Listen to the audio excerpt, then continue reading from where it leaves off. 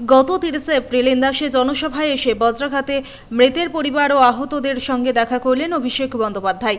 সিবিআইয়ের ডাকে সাড়া দিয়ে কর্মসূচি স্থগিত রেখে কলকাতায় ফিরে গিয়েছিলেন অভিষেক ব্যানার্জি এবং সিবিআইয়ের সামনাসামনি হয়েছিলেন। যথারীতি পূর্ব নির্ধারিত জনসংযোগ যাত্রা আবারও শুরু করলেন তিনি। এবার অভিষেক ব্যানার্জি বাঁকুড়ার ইন্দাস থেকে সোমবার দ্বিতীয় দফায় নবজোয়ার কর্মসূচি করলেন। গত ত্রিশে এপ্রিল ইন্দাসে তৃণমূল কংগ্রেসের একটি জনসভায় এসে বজ্রাঘাতে মৃত্যু হয়েছিল এক তৃণমূল কর্মীর ও আহত হয়েছিলেন পঁচাত্তর জন তৃণমূল কর্মী সহ এক সাংবাদিক। আজ মৃত তৃণমূল কর্মীর পরিবারের সদস্য এবং আহত তৃণমূল কর্মীদের এবং সাংবাদিকের সঙ্গে দেখা করলেন অভিষেক বন্দ্যোপাধ্যায়। ইতিমধ্যে মৃতের পরিবারকে আর্থিকভাবে সহযোগিতা করা হয়েছে এবং আহতদের পাশে দাঁড়িয়েছে তৃণমূল কংগ্রেস। অভিষেক বন্দ্যোপাধ্যায় তাদের সঙ্গে দেখা করে আগামী দিনে আরও বেশি করে পরিবারের পাশে থাকার বার্তা দিলেন। মৃত ব্যক্তিদের পরিবার এবং আহতদের সঙ্গে দেখা করার কথা আগেই ঘোষণা করা হয়েছিল। সেই মতোই আজ দেখা করেন এবং কথা বলেন।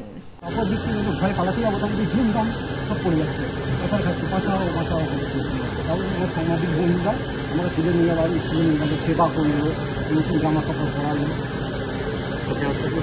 আমি হ্যাঁ আমি হচ্ছে টাটকা খবর রাজ্য পরিবর্তন হ্যাঁ? বিভিন্ন খবরে কাজ করি। আমি বেশিরভাগ গরিব মানুষের নিউজ করি। আর হ্যাঁ আমার বাড়ি সিঙ্গুরিয়া এখানে বাড়ি। বসে বসে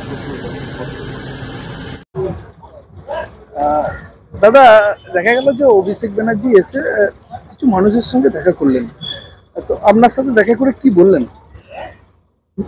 তিরিশে এপ্রিল দেবাংশু ভট্টাচার্যের সভা ছিল শাসপুরে।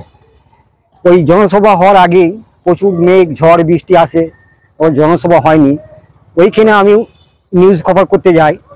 তারপর দেখি প্রচণ্ড ঝড়, মেঘ, বজ্রপাত আরম্ভ হয়। আমি ওই বটতলায় ছিলাম।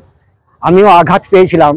ওই পঞ্চাশ জন বা পঁচাত্তর জন যাই ছিল তার মধ্যে আমিও ছিলাম।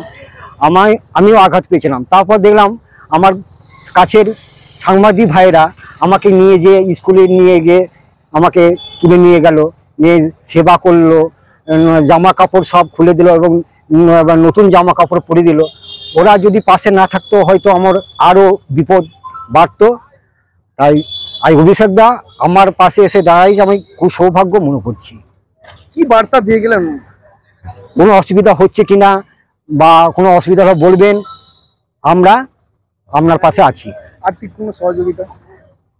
এখনও পর্যন্ত কোনো কিছু হয়নি। তো বলছে আমরা চেষ্টা করব। আপনার নাম? আব্দুল হাই।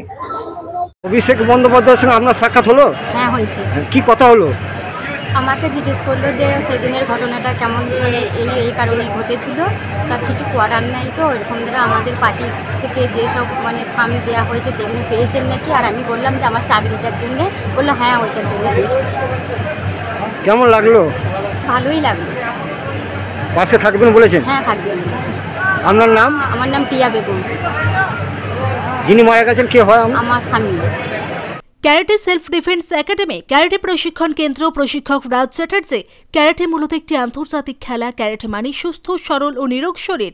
আসুন আপনার পুত্র কন্যা ভাই বোনেদের শরীরচর্চার মাধ্যমে আত্মনির্ভর করে তুলে আপনাদের নিকটবর্তী প্রশিক্ষণ কেন্দ্র Shripur national primary institute Kamarpukur Dakbungalow Hooghly. যোগাযোগ nine seven three four three zero one zero seven one. এছাড়াও eight nine double zero six double eight nine seven six অথবা seven zero seven six nine one eight six six one. Bandyopadhyay এই যে বজ্রপাতে আহতদের জন্য কি কি ব্যবস্থা করে গেলেন? আজকে আমাদের যে কর্মসূচি ছিল এর আগে একটা আমরা জনসভা করতে গিয়ে সেখানে আকস্মিকভাবে বজ্রাঘাত হয়। সেখানে একজন মারা যায় এবং অনেকজন অসুস্থ হয়। সেখানে সেভেন্টি ফাইভ মানে পঁচাত্তর জন অসুস্থ হয়েছিলেন। সেই কথাটা শুনে দাদা মন্ত্রী শশী পাঞ্জাকে পাঠিয়েছিলেন। তিনি এসে যথারীতি দেখে গিয়েছিলেন এবং নিহতের পরিবারকে যথাযথ সাহায্য করে গিয়েছিলেন। কিন্তু তৎসময় আহতদের পাশে দাঁড়াতে পারেননি। দাদা তাই আমাকে বলেছিলেন যে আমি ওখানে একটা যাব। বিশাল একটা আমাদের রাজনৈতিক কোনো কর্মসূচি নয়। যেহেতু দলীয় কর্মীরা আহত হয়েছে, তাদের পাশে দাঁড়াবো, তাদের খোঁজ খবর নেব, তাদের সাংসারিক খবর নেব। সেই জন্যই আমরা এখানে অ্যারেঞ্জমেন্ট করেছিলাম। যেহেতু পঁচাত্তর জন, তাই পঁচাত্তর জনের বাড়ি বাড়ি যা পৌঁছ, পৌঁছানো হয়নি, পৌঁছাতে অসুবিধা হয়েছিল। তার জন্য আমরা এই ইন্দাস হাই স্কুলে একটা প্রাঙ্গণে একটা ক্যাম্প করে দাদা এসেছিলেন। প্রতিজনের সাথে প্রতিজনকে সময় দিয়ে তাদের যথারীতি তাদের পরিবার সম্পর্কে, তাদের সংসার কীভাবে চলছে, তাদের শারীরিক অসুস্থতা সম্পর্কে তাদের কি অসুবিধা হচ্ছে, তাদের কোথায় অসুবিধা হচ্ছে, এক একজনকে ধরে ধরে পঁচাত্তর জনের সাথে কথা বলেছেন। এবং দাদা বেরোনোর সময় আমাকে বলে গেলেন যে আমি প্রত্যেকটা পরিবারের পাশে আছি। প্রত্যেকটা পরিবার যাতে প্রত্যেকজন যারা অসুস্থ হয়েছে তাদের চিকিৎসা। সাথে সাথে তাদের পরিবারের প্রত্যেকজনকে তাদের এই দু তিন মাস যাতে বাড়ি খরচা, সংসার খরচ কারণ তারা কাজ করতে পারছে না। তারা যেন বিনা কাজ করে তারা যেন সংসারটা চালাতে পারে, তার ব্যবস্থা দাদা করে দেবেন। এবং যাদের অসুবিধা হচ্ছে, তাদের প্রত্যেকজনকে চিকিৎসার সুযোগ করে দেবেন। এবং তারা যতদিন না সুস্থ হচ্ছে, তাদের পাশে দল থাকবে এবং আমাদেরকেও নির্দেশ দিয়ে গেছে, আমরা যেন প্রতিনিয়ত, প্রতিক্ষণ প্রতি সময় যেন তাদের পাশে থাকি, তাদের খোঁজ খবর নিই এবং কোনো অসুবিধা হলে তারা আমাদেরকে জানাতে বলেছে। আমরা আজকে গর্ববোধ করছি যে আমরা দল করতে গিয়ে আমরা একটা সময় দেখেছি যে দলের পাশে, কর্মীদের পাশে কেউ থাকতেন না। কিন্তু আজকে আমরা এই জন্য গর্ববোধ করছি যে একটা নেতা পেয়েছি যিনি ছুটে এসেছেন এবং পঁচাত্তর জনকে টাইম দিয়েছেন। একজন এত বড় লিডারশিপ এত বড় মাপের লিডার তার দরকার ছিল না কিন্তু কর্মীদের এত কথা শোনা। কারণ এর আগেও আমরা দেখেছি অনেক ঘটনা ঘটেছে, অনেক শহীদ হয়েছে, অনেক নিহত হয়েছে, অনেক আহত হয়েছে, সিপিএম তারা অত্যাচারিত হয়েছে। কিন্তু আজকে আমরা প্রকৃত যারা তৃণমূল কংগ্রেস কর্মী যারা প্রকৃত তৃণমূল কংগ্রেস করি আজকে আমরা উপলব্ধি করতে পারছি। সত্যি নবজোয়ার শুরু হয়েছে এবং সেই নবজোয়ারে নতুন করে একটা যে আশার উদ্দীপনা শুরু হয়েছে এবং আবেগ তৈরি হয়েছে সেটা আমরা যথার্থ আমাদের আমাদের যোগ্য লিডার নতুন প্লাবনের যে যোগ্য লিডার নবজোয়ারের যে যোগ্য লিডার আমরা পেয়ে গেছি। মানুষের সারা কেমন পেলেন মানুষের সারা এত সুন্দর কারণ আমরা জানেন যে রাজনৈতিক লাভ করার জন্য আপনি দেখতে চান আপনার সন্তান ইংরেজিতে কথা বলছে, তাহলে আসুন আপনার সন্তানকে বিদেশিদের মতো করে ইংরেজি বলতে শেখায়। আপনার প্রিয় শহর কামারপুকুরে। মার্চ মাস থেকে শুরু হয়েছে স্পোকেন ইংলিশ ক্লাস।